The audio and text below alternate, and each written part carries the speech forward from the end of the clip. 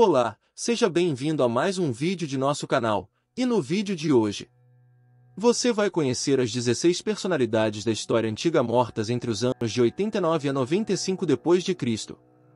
Antes de começarmos, deixe o seu like, se inscreva em nosso canal e não esqueça de assinar o sininho das notificações para receber todos os vídeos que for postado em nosso canal.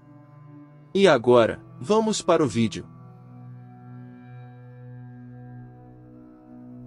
Policarpo I de Bizâncio, morto em 89 d.C. Não sabemos ao certo o ano de seu nascimento, mas a sua morte se deu em 89 d.C. Policarpo I de Bizâncio foi um bispo de Bizâncio. Ele sucedeu Onésimo em 71 d.C., depois de um hiato de três anos, e serviu por 18 anos. Durante os últimos oito anos de seu reinado, sob o imperador romano Domiciano, a igreja esteve sob forte perseguição. Lúcio Antônio Saturnino, morto em 89 d.C. Não sabemos ao certo o ano de seu nascimento, mas a sua morte se deu em 89 d.C. Lúcio Antônio Saturnino foi um cônsul sufecto, 82, e governador romano da Germânia Superior durante o reinado do imperador Domiciano, 81, 96 d.C. Na primavera de 89, motivado por uma disputa pessoal contra o imperador, liderou uma rebelião conhecida como a Revolta de Saturnino, que envolveu as legiões 14ª Gemina e 21ª Rapax, acampadas em Mogoncíaco, atual Mogúncia. Caio Vipstano Aproniano, morto em 91 d.C. Não sabemos ao certo o ano de seu nascimento, mas a sua morte se deu em 91 d.C. Caio Vipstano Aproniano foi um senador romano eleito cônsul em 59 com Caio Fonteio capitão. O seu cognome, Aproniano, é de origem incerta. Nas palavras do historiador Ronald Cine, ele indica que Aproniano era um apronio adotado por um Lúcio Vipstano ou um Vipstano cujo pai se casou com uma apronia. Em seguida, Cine conclui que o pai desta apronia seria Lúcio Apronio Cesiano, cônsul em 39 d.C. Hélio Adriano Marulino, morto em 91 d.C. Não sabemos ao certo o ano de seu nascimento, mas a sua morte se deu em 91 d.C. Públio Hélio Adriano Marulino, conhecido apenas por Hélio Marulino, foi um senador romano de status pretoriano do século I d.C. de origem hispânica. Foi o avô do imperador romano Adriano. Júlia Flávia, morto em 91 d.C. Seu nascimento foi em 13 de setembro de 64 d.C. em Roma, e sua morte se deu em 91 d.C. aos 27 anos. Júlia Flávia foi a filha única do imperador Tito e sua segunda mulher, Márcia Furnila. Tito Flávio Sabino, cônsul em 82, morto em 91 d.C. Não sabemos ao certo o ano de seu nascimento, mas a sua morte se deu em 91 d.C. Tito Flávio Sabino foi um senador romano eleito cônsul em 82 com seu primo, o imperador Domiciano.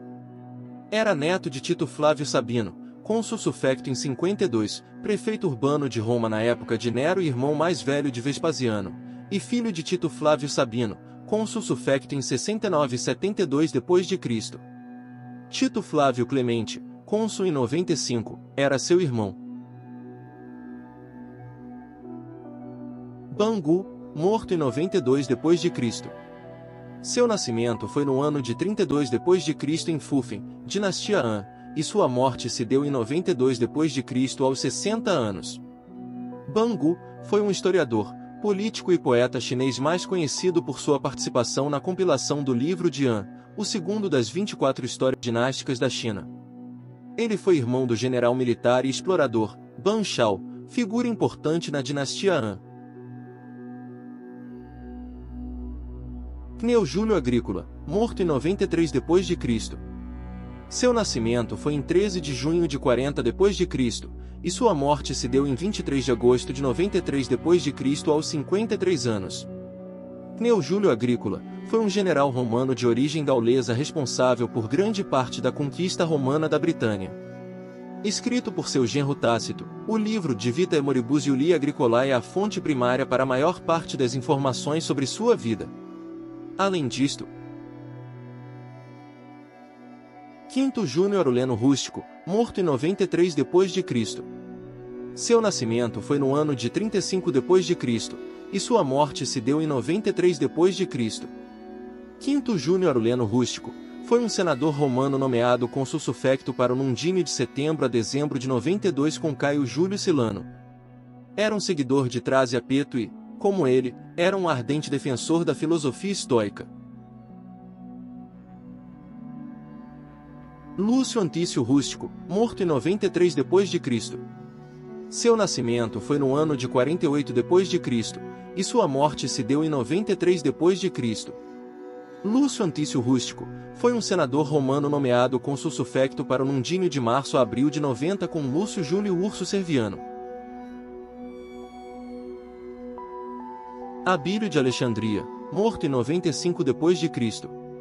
Não sabemos o ano do seu nascimento, apenas a localidade que foi em Alexandria, Egito, mas sua morte se deu em 95 depois de Cristo, também em Alexandria, Egito. Abílio de Alexandria, Avílio no Oriente, também chamado de Sabélio ou Mélio, foi o terceiro patriarca de Alexandria. Seu patriarcado aconteceu entre os anos 83 e 95. Ele ascendeu ao trono durante o reinado do imperador Domiciano. Na história eclesiástica, Eusébio de Cesareia nos conta que, após a morte de Aniano, todos os bispos sufragâneos e padres da região foram para Alexandria onde eles se reuniram com os fiéis, leigos, sobre quem seria o próximo bispo e elegeram unanimemente Abílio para sucedê-lo, baseado em sua reputação de castidade e conhecimento de Cristo. Ele permaneceu na posição por 19 anos e 8 meses e foi enterrado ao lado de São Marcos na igreja de Bucalis em Alexandria.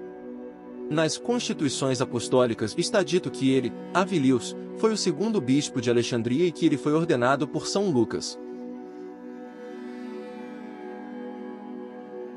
Caio Musonil Rufo, morto em 95 depois de Cristo.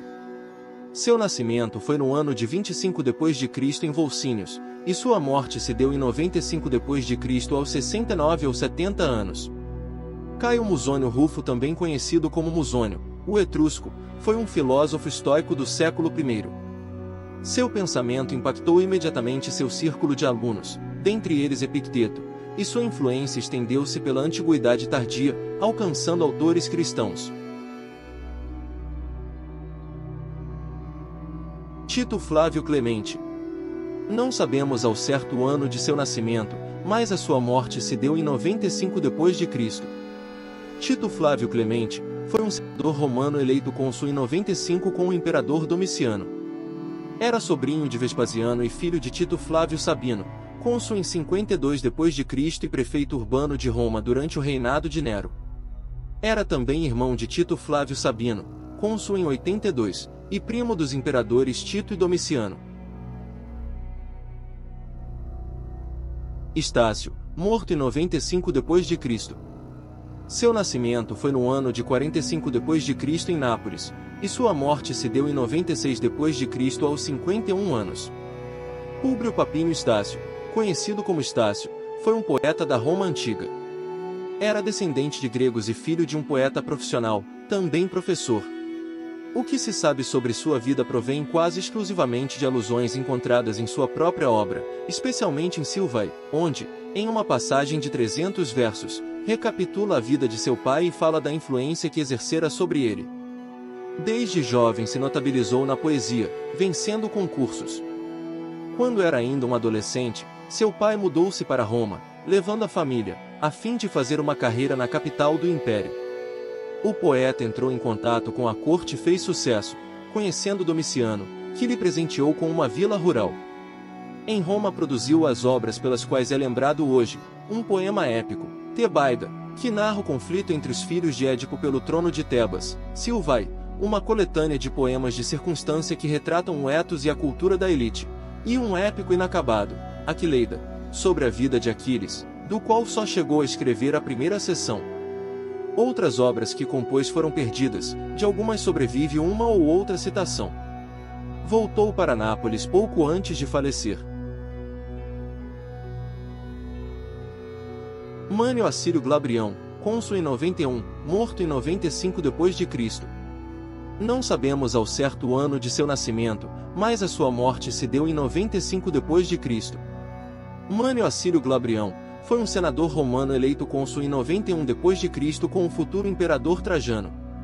Apesar de ter sido um dos muitos senadores executados durante os difíceis anos finais de Domiciano acusados de conspiração, ele foi lembrando por seus contemporâneos por sua força. Domiciano convocou Glabrião durante seu consulado até suas terras em Alba Longa durante o Festival da Juvenália para matar um grande leão e ele não apenas matou o animal, mas saiu ileso do enfrentamento. Logo depois, Domiciano o baniu e ordenou que ele fosse executado já no exílio. Quintiliano, morto em 95 d.C. Seu nascimento foi no ano de 35 d.C. em Calahorra, e sua morte se deu em 96 d.C. em Roma. Marco Fábio Quintiliano foi um orador e professor de retórica romano. Nascido em Calagurris, Calahorra, atual Espanha, em 35 d.C., Quintiliano estudou em Roma, onde primeiro exerceu a atividade de advogado. Tornou-se conhecido por ter sido professor de retórica e teve como alunos várias personalidades romanas, dentre as quais o orador romano Plínio, o jovem. Além de dedicar-se às atividades de advogado e professor, Quintiliano registrou suas ideias sobre retórica e oratória em alguns escritos, dos quais o mais famoso é Institutos de Oratória, Institutio Oratório. Espero que você tenha gostado do nosso vídeo mas principalmente aprendido um pouco mais sobre essas personalidades do mundo antigo. Até logo e espero te encontrar em nosso próximo vídeo.